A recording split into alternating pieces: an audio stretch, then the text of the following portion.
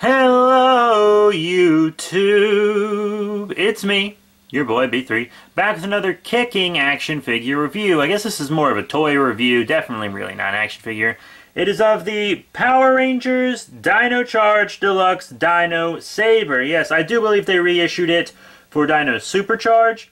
Uh, I got this at Kmart on clearance. They were clearancing out some of quote-unquote old Power Ranger stuff to make way for the new Power Ranger stuff. So I got this, the first uh, Deluxe Dino Saber, for only $20. It's normally around 30 in my area, so yeah, in fact, the whole reason I didn't get it sooner is because I didn't want to pay 30 for it. I wanted it to go on sale. I actually got uh, the Morpher on clearance as well, like as soon as it came out though, which was super crazy, but I didn't review it for a while. I never had the opportunity to. But yeah, so you'll get to see uh, them combine later. That'll be pretty cool, right? It better be. but yeah, here it is. I've been wanting this saber. Uh, my only complaint is that it's too short. I mean, obviously, they made it for kids. If you want them, if you want your toys to be bigger and more cosplayish, get the Japanese version. However, the Japanese versions are often very pricey because they're the Japanese versions. The American versions work, and you know the size actually works when you combine them anyways, because the blade's longer in the show, but it's shorter after the combination. You'd have to have interchangeable blades for it to be really accurate, uh, in my opinion. But it's whatever, who cares? Life's a scam, no one's ever going to be happy. Uh, but it's really cool. Uh, it has many features, many sounds. Uh, there's like a little trigger right here on the hand, so...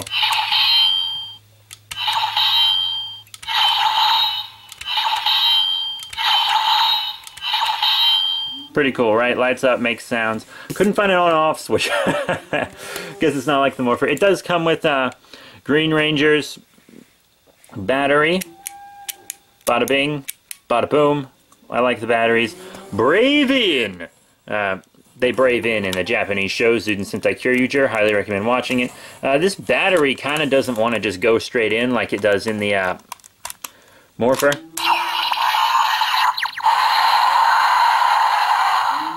And yeah, that's the noise it makes. I'm sorry about the cows. Apparently they're working cows outside my place.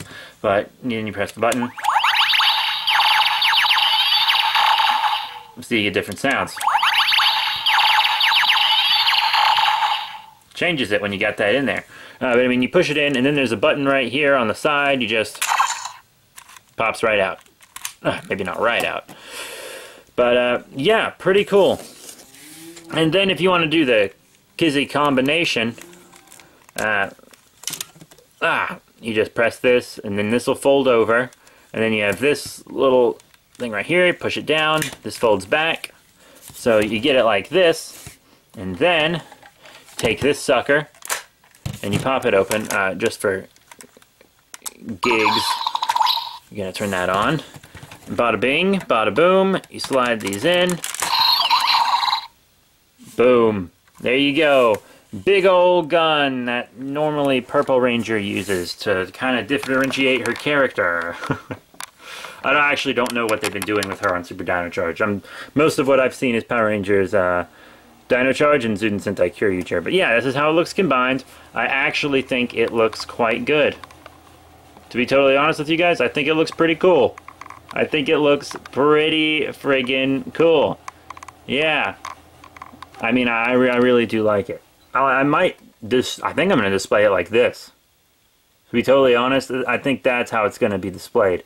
Because uh, it stands up pretty well. I can put that up against the wall like that. It's going to look nice. Uh, pull that trigger there.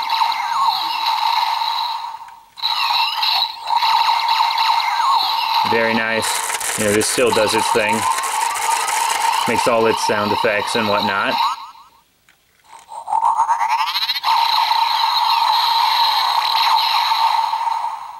Pretty cool, right? It's a, it's a cool toy. It is a pretty cool toy. I, I will admit, it's very awesome. I believe at some point in the show they also extend the blade to stab peeps, so that's pretty cool. Now here's a size comparison of the two weapons you've seen so far. Pretty cool. Here it is with a bladed weapon, this time from the Legacy line, is the Legacy Dragon Dagger. And lastly, one of my all-time favorite collectibles, the Legacy Saba Sword.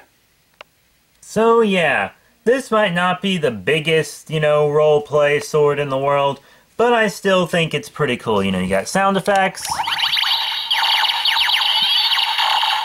transformation combination ability, comes with a battery, you know, fun for kids and adults alike. It's a very neat collectible, and uh, I do recommend it, but not for $30. so yeah, that's it, you guys. Thank you all very much for your support. Please remember to rate, comment, subscribe, and check out all the cool links in the description below, Facebook, Twitter, whatnot.